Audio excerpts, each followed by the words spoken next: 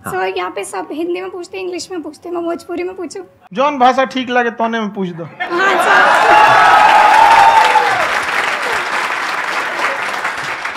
Sir ये पूछे के चाहते नहीं कि जैसे हमने के पढ़ाई करे निशान तो कभी कभी डेली टारगेट्स जो होला वो कंप्लीट ना होला।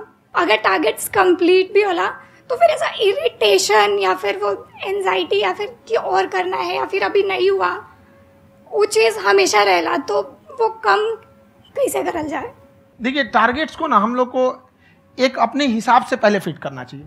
ऐसा नहीं कि दूसरे किसी इंसान को देख के हम टारगेट फिट कर ले। कोई लड़का आठ घंटा पढ़ रहा है कोई पहली बार अभी पढ़ना ही चालू किया, उसको देख के आठ घंटा पढ़ेगा तो पढ़ाइए छोड़ देगा। तो आप अपनी क्षमता के हिसाब से देखिए कि आप कितना पढ़ सकते हैं। अगर आपने एक एक घंटे को बना लिया कि हम एक घंटा पढ़ सकते हैं। अगले एक हफ़्ते तक उसको सस्टेन रखिए। जिम में कैसे करते हैं लोग? पहले दिन उठा लीजिएगा, एक कुंटल तो हार्ट अटैक हो जाएगा।